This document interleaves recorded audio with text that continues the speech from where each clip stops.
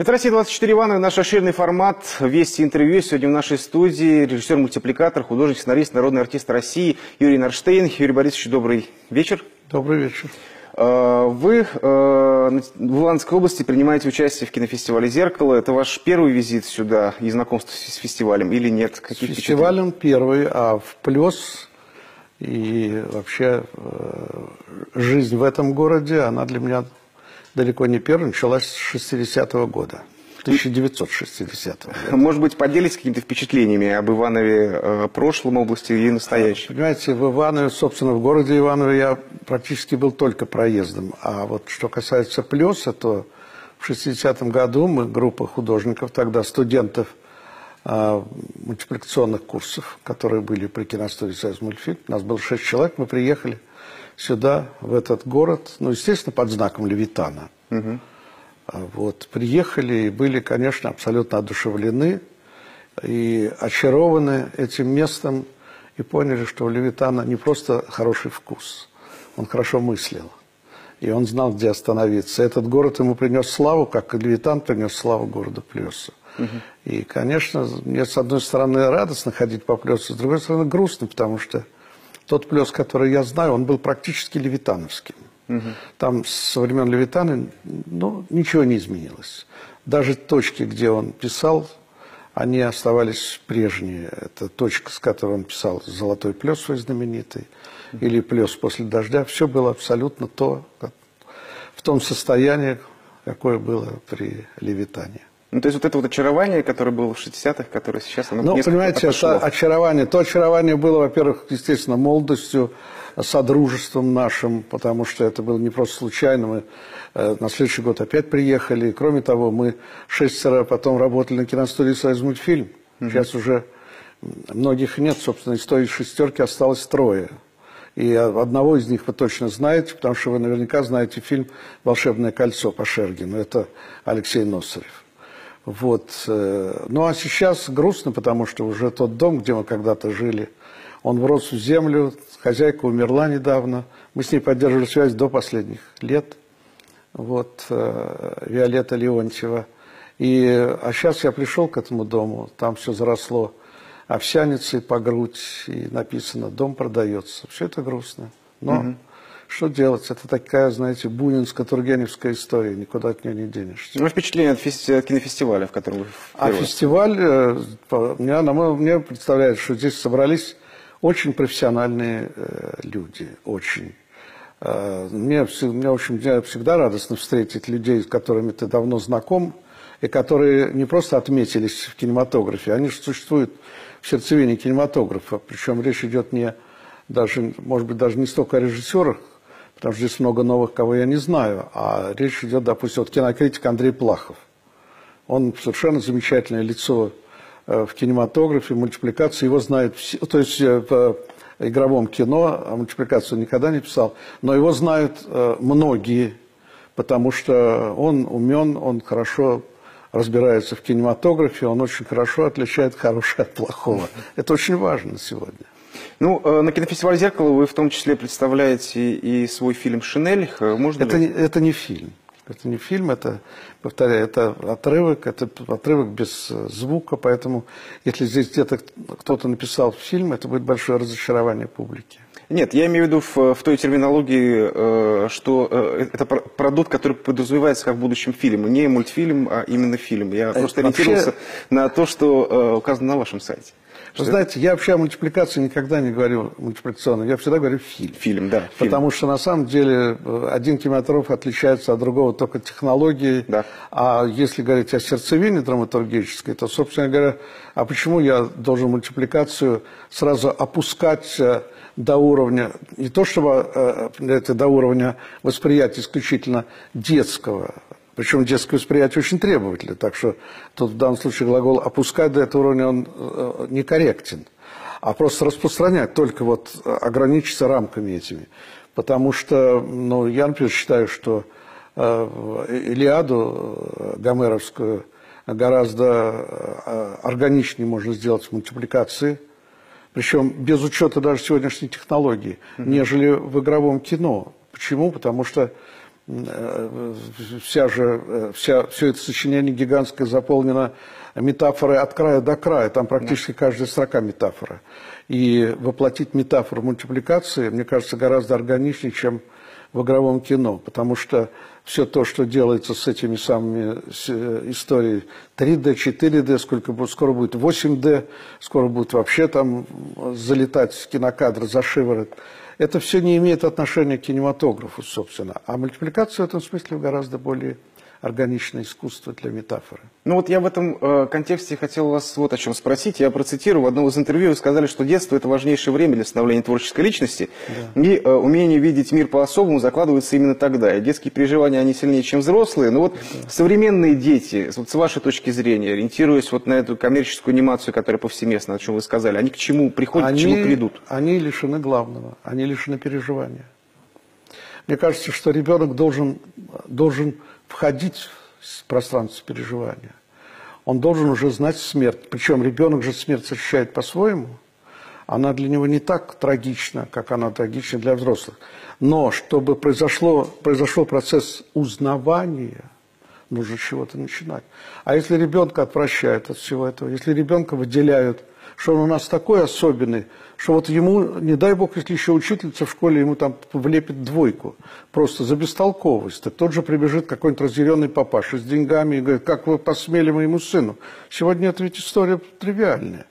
А э, ребенка нельзя лишать э, переживаний. Если вы хотите потом, чтобы у ребенка была устойчивая психика, чтобы он, он был морозоустойчив. Угу. Понимаете?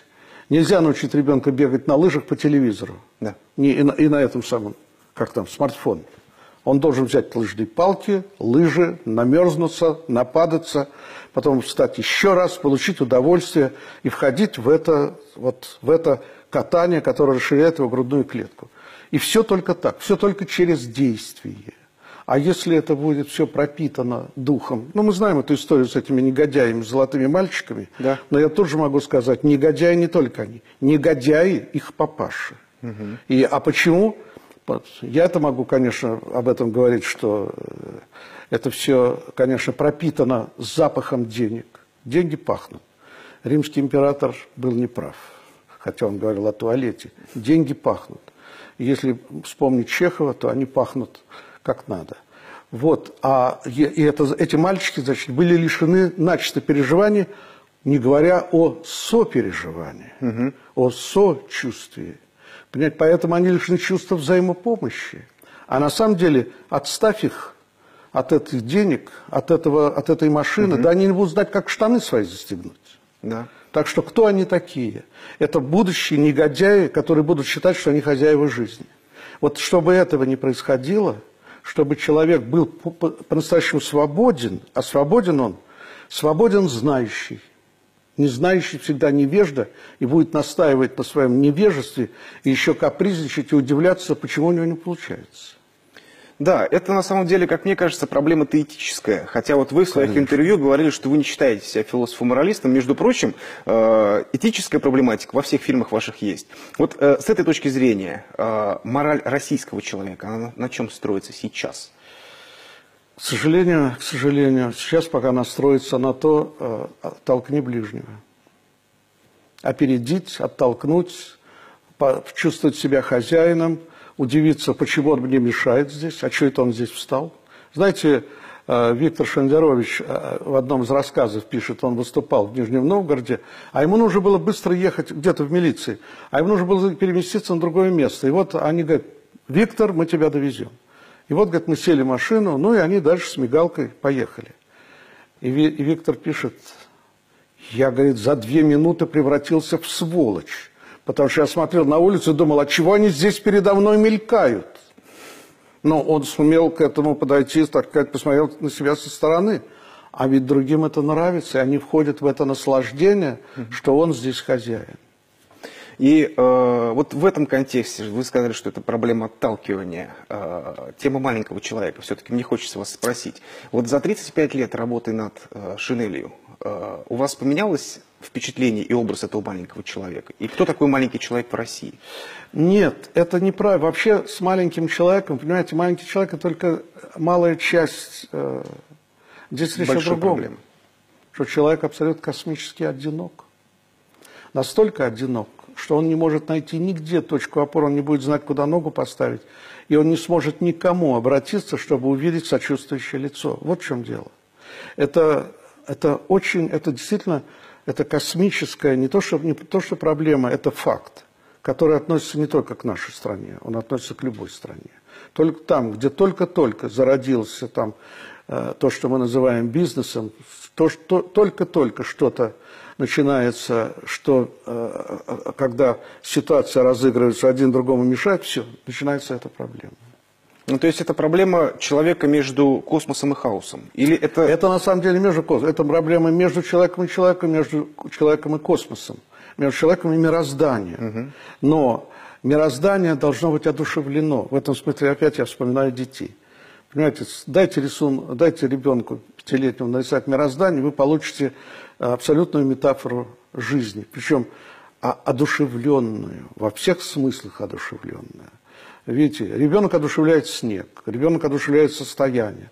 Оно для него это как а, хороший глоток свежего воздуха.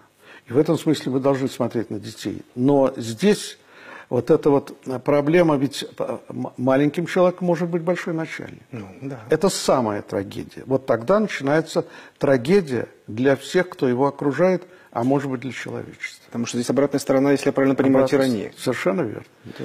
Ну, э, вернемся к кинематографу. Э, вот э, сейчас, как вот вы думаете, есть надежда на то, что те традиции, которые были заложены, в том числе и вами, будут продолжены? Есть молодое поколение э, вот, некоммерческих, некоммерческой анимации, авторского вы знаете, э, и коммерческое, и авторское у меня э, отношение, может быть, не совпадающее с э, тем, как мои коллеги это оценивают. Потому что коммерческое должно быть, это безусловно. Советская мультипликация была и коммерческая, и творческая, и индивидуальная, и авторская.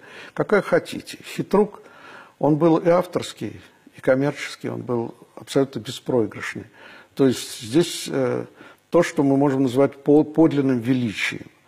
Вот, что касается такого, сегодня это пошло, вот это очень резкое деление – когда э, представитель, э, если он, как он себя называет, авторского кинематографа, уже считает, что только потому, что он авторский, значит, он уже априори хорош. Угу. Ничего подобного. К сожалению, сегодня под понятием авторский кинематограф подпадает много очень серых фильмов, а режиссеры говорят, у меня авторский кинематограф. Ну вот вы сейчас, э, может быть, как-то анализируете, я имею в виду пласт некоммерческой анимации, есть в России? Есть, есть, есть, есть художественная мультипликация, ее, в общем, в достаточном количестве.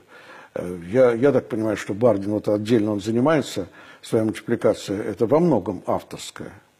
Я могу э, там по-разному по относиться, но это абсолютно достойно э, работы. Это такой в подлинном смысле человек работает. Вот что. Это самое главное. Он делает дело. А, есть молодые, кто даже себя и не делит на авторский кинематограф или коммерческий. Я всегда в этом случае называю... Ну, есть среднее поколение, там, представитель для меня, например, Константин Бронзит. Но есть поколение э, тех, кому сейчас 25, там, 27 лет. Для меня э, одной из таких фигур, это, конечно, безусловно, Наташа Чернышова, которая сделала изумительный фильм, называется «Снежинка». Фильм, который в себя вобрал и э, э, традиционные стороны мультипликации, и в то же время открыл в себе э, нечто новое, что роднит этот фильм с детским э, творчеством, с очарованностью э, метафористической, которая может быть только у ребенка. Или наоборот, этот фильм дает ребенку возможность взглянуть на то, что он не смотрел внимательным глазом, гораздо более внимательно. Видите, э, ребенок, который заинтересовался, как падает снежинка или как устроен узор на окне, он уже художник. Это не важно, будет он потом жившим заниматься или чем. Он может будет инженером хорошим но он уже творец. Так что тут все очень просто. Только надо э, вот эти вот пути не мешать, в общем, вот этим путям. Вот дело. Юрий Борисович, спасибо большое, что нашли время заглянуть к нам в студию. А нашим телезрителям я напоминаю, что сегодня в студии «России-24 Иванова» был Юрий Нарштейн, народный артист России, режиссер, мультипликатор, художник, сценарист. Не переключайтесь и оставайтесь с нами.